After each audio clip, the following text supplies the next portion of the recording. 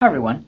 In this very quick demo, I'm going to give you an overview of many of Blend's features for building an HTML application. And what we're going to build is a very simple Hello World application, the kind of application you may have built when learning another technology or language in the past. So let's get started. I have Blend running, and when you launch Blend, you'll often see what is known as a welcome screen, a place where you can quickly browse through your recent projects or open an existing project. In our case, what we want to do is create a new project. I'm going to go ahead and click the new project uh, the text. And what you can do here is choose which language you want to build your application in. Blend works great in XAML and HTML.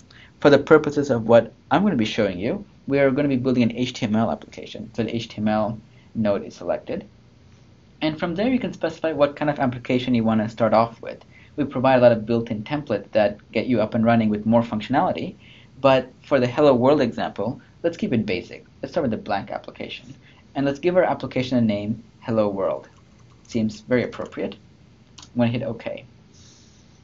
Once you create a new project, what you'll see is Blend's default workspace, which is largely made up of what we call the design surface or the artboard, the large area where you get to see your design really come to life as you're using the visual design tools that Blend provides for building HTML applications and some of the remaining space is divided by a code editor that gives you live view of your HTML and CSS as you're making changes, and some of the other panels which I will get to as we're building our application. So what I want to do first is display some text, display some text that will ultimately end up showing hello world. There are several ways you can do this. You can go ahead and type in heading 1, which is the element I want to use in a code editor, and just you know start typing in hello. Or another approach I, I, tend to like to do is by doing it visually using our asset panel. So what I'm going to do is launch the asset panel. And the asset panel is a categorized listing of all the various components you can add to your document. This includes all the various controls that might be provided by Windows or from any third-party SDKs that you might have, might have added to your project as well. But we also give you a full collection of all the HTML5 elements that you can add. In our case, what I want is a heading tag. I'm just going to go ahead and search for it directly. Type in h1, and I'm going to drag and drop it onto my design surface. And notice once I've done that, you first and foremost see your heading tag has been added to your document at the very top. You'll see that in your live DOM, which is essentially a hierarchical view of all the of all the content in your current document, you'll see the heading 1 tag appearing here. You'll also see it appearing in your code editor as well. There seems to be some minor mistake here. Let me delete that.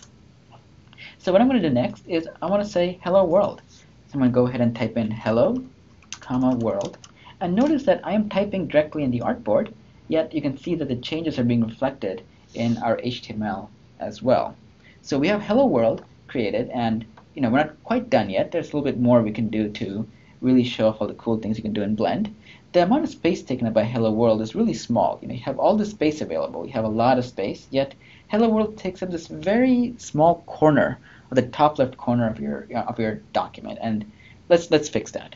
So whenever you start talking in HTML about making visual changes, making changes that appear, affect the appearance of something, you're really talking about CSS. And Blend, you know, we have a lot of great features for making your CSS styling really, really predictable, productive, and just a lot, a lot of fun. So what I'm going to do here is I have my heading 1 tag selected, and I want to style it. The way I'm going to style it is by creating a style rule that targets this particular tag. I could go easy. I could create a selector that targets all h1 elements, or I can do something like identifying it somehow. I can give it an ID value or a class value. Let's go ahead and create a class value. I'm going to right click on my heading tag and say add new class. And what I want to call my class, let's call it hello text. And once I've done this, I'm going to check this box that says create style target this class because the reason I'm giving this item a class value is simply so I can target it via style rule in my CSS. I'm going to go ahead and hit OK. And once I've done that, notice that hello text has been added to my default.css. You know, your style, your style rules panel gives you an overview of all the style sheets as they're currently affecting this particular document.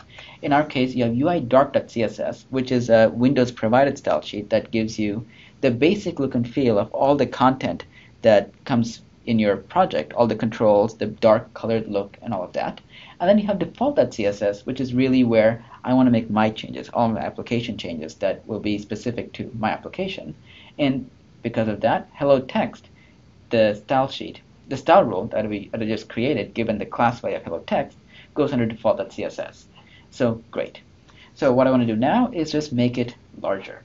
So where I'm going to be making my modifications from my CSS is the CSS properties panel, which gives you this rich categorized listing of every single CSS3 property that is available for you to use.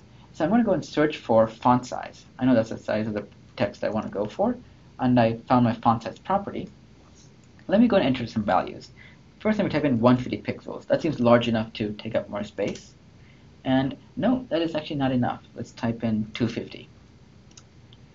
Not let me go by another 100, 350. All right, 350 pixels seems about right. And notice what I did here. I was able to find the font size property and start putting in values. And in real time, I was able to see the size of my text update.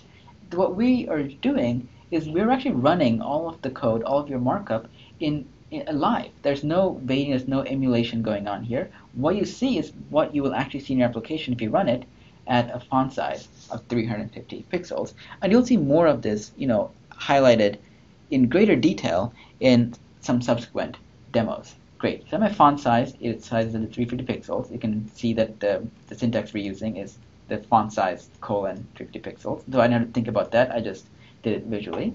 And while I'm already here, I might as well change the color of the element as well. You know, white on dark gray seems very plain, very boring. Let's go and fix that. So what I'm going to do is, I know I showed you how I can search for a property. I'm going to, this time around, actually browse through our category listing. We have a text category where the color property lives. And I'm going to give it a nice, let's give it a nice, let's give it a nice yellow color. Nice yellow color. And again, I specify the color. I specify the color by thinking about it in terms of what the final result is going to be.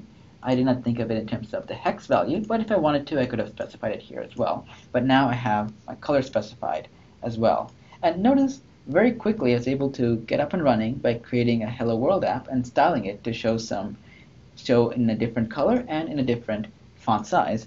And in some subsequent demos, we'll go a little bit more deeper into showing some of the functionality for really creating cool Windows 8 applications because what I just showed you right now is very basic, something you could have done probably many, many years ago using earlier versions of tools that built HTML and CSS. All right, so let's move on to the next demo shortly.